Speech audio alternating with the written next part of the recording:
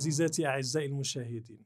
في الحلقة الماضية طرحنا سؤال مهم عن معنى الدين الإسلامي. وقلنا إن معناه الحكم الصحيح الكامل اعتمادا على أصل اللغة. ورأينا أن الخليفة معاوية لا يمكن أن تكون له عقيدة محمدية كما هو شائع في مراجعنا الإسلامية. خليفة يصلي بالجلجتة وكنيسة قبر أو كنيسة قبر مريم العذراء ويحمل صليبا في عملته ونقشه الذي يعود لسنة 664 ميلادية أو 43 للحكم العربي كما رأينا في الحلقة الماضية فكيف يمكن فهم هذه المعضلة؟ فكما قلت فالدين الإسلامي ليس معناه العقيدة المحمدية وتصديق رسالة التي أتى بها محمد نبي العرب. وإنما معناها الحكم العربي الصحيح الكامل المؤيد من الله لجعل العرب يهزمون البيزنطيين أقوى أمبراطورية في العالم آنذاك. وهذا الحكم الإسلامي يدخل تحت رايته كل الملل والنحل شريطة أن تخضع لقوانينه وجوهر هذا الحكم الإسلامي يتلخص في الإيمان في الإيمان بالله والعمل الصالح كما ورد في سورة البقرة.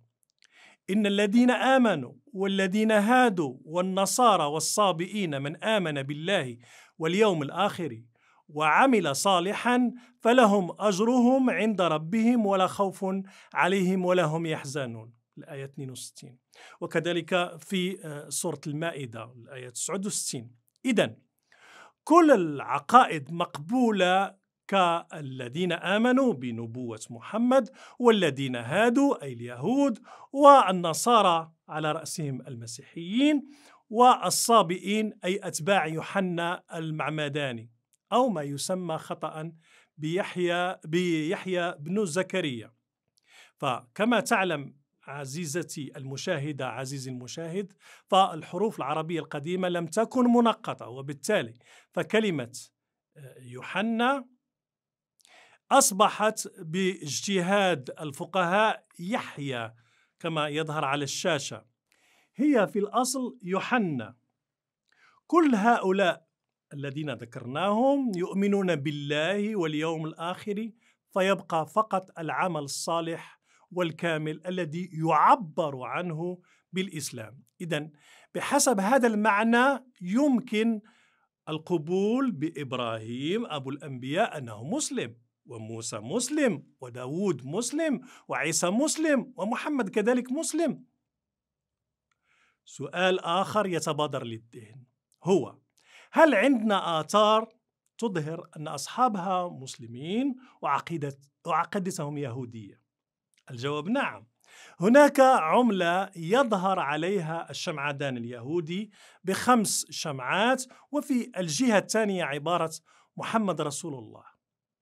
هذا إن دل على شيء فإنما يدل على أن العرض لدخول الإسلام هو عرض سياسي وليس عقائدي.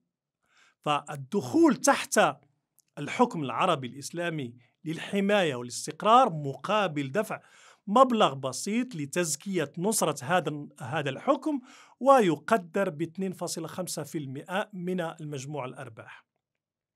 والانضمام لصفوف الجنود وقت الحرب عند آه، الاستطاعة. وهكذا أصبح المنخرطين تحت راية الإسلام بعد هزيمة البيزنطيين من كل البقاع المجاورة بكثرة وهذا ما تدل عليه سورة النصر. إذا جاء نصر الله والفتح ورأيت الناس يدخلون في دين الله أفواجا.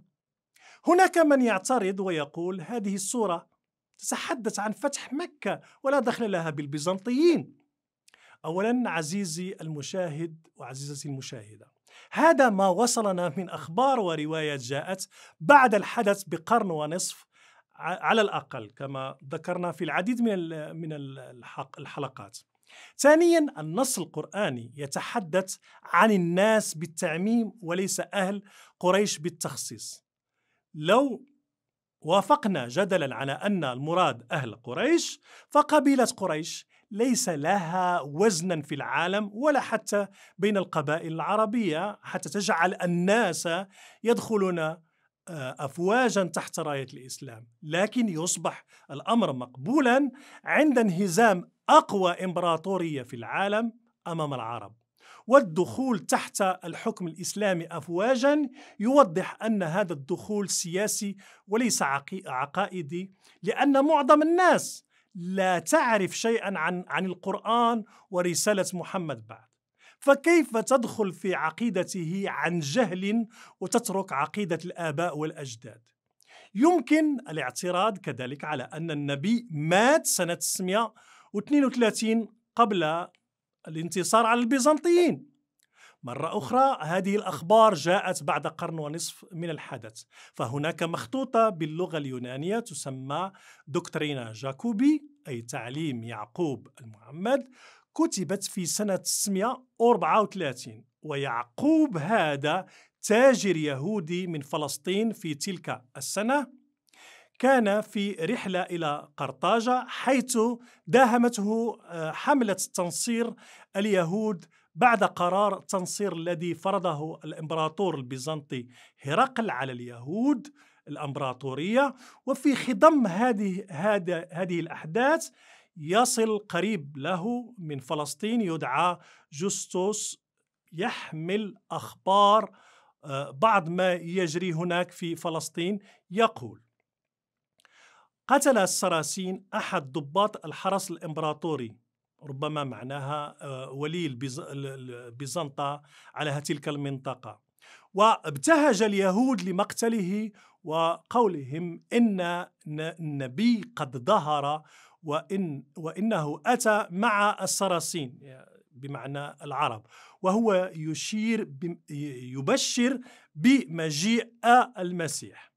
فنلاحظ من خلال النص أن اليهود ابتهجوا لانتصار العرب على الحمية العسكرية البيزنطية. وظهور النبي مع السراسين بمعنى أنه آه، إلى سنة 634 ميلادية لا زال محمد حيا يرزق. فهذه الشهادة تقول عنه نبي مزيف جاء بالسيف والأنبياء لا تأتي بالسيف. هناك شهادة أخرى وهذه المرة من المؤرخ الأرميني وباللغة الأرمينية واسمه سيبيوس. يقول إن رجلا ظهر بين العرب يدعى محمد. عاد الاعتبار إلى آه، صلة النسب التي تربطهم بالإسماعيليين يعني بإيحاء من اليهود. وقرر دفع بني قومه إلى آه، آه، استعادة الأرض الموعودة في فلسطين. ونجح في ذلك بعدما انتصر على البيزنطيين في معركة بين قوسين تبوك وزحف نحو مدينة إلياء وكان الفتح العظيم. وسمي أي محمد بالفاروق معناه المخلص شعبه خاصة أن اليهود كانوا في محنة التنصير التي فرضها الإمبراطور هرقل سنة 630 ميلادية. تحرروا من هذه المحنة من محنة وكانوا شركاء للعرب في هذا الانتصار. غير المتوقع البتة. فنكتفي بهذا القدر وإلى اللقاء في الحلقة المقبلة.